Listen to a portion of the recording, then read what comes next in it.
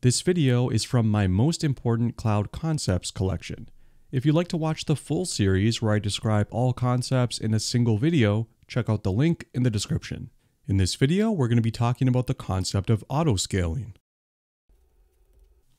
and also very closely related to horizontal scaling. Uh, but this is really where you get a lot of power in cloud computing applications. So we saw with this horizontally scaled example, you know, you have multiple different machines here. Just going to redraw this really briefly.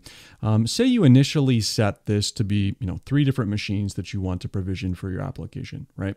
And as we were kind of drawing up over here in the top left, you know, your application can grow very, very rapidly based on, you know, maybe someone posts something or I don't know, someone um, or maybe you get funding for your application, or maybe just on launch day and uh, kind of your traffic explodes for some reason.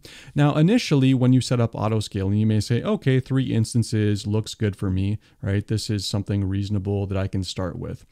But how do you seamlessly deal with this situation up here, right? Like we don't want to necessarily be monitoring our graphs and say, oh, shoot, like we got an increase in traffic. Let's add a fourth instance over here and let's add a fifth instance over here. And the reverse also applies, right? When traffic kind of goes from really, really high and then drops down like this, um, then we want to maybe remove these instances, right?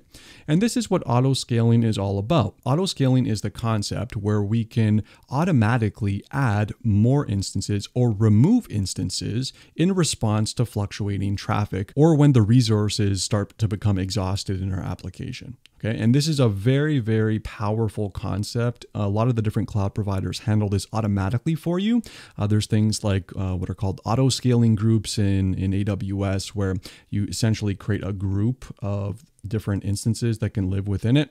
And then you set a metric to say, you know, when connections goes above some key value, then add a, another instance. And when it goes below, then remove an instance, or you can do it based on CPU utilization. There's a whole bunch of different metrics that you can hook into to automatically add and remove instances. So this is the key idea of auto scaling.